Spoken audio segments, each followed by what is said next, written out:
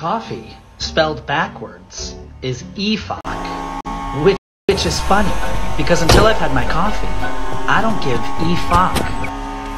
It's eeffoc. And it's, It's funny. Epoch. It's funny. Uh, Coffee spelled backwards. And it's because it's funny. It's eeffoc. It's funny. It's eeffoc. It's funny. It's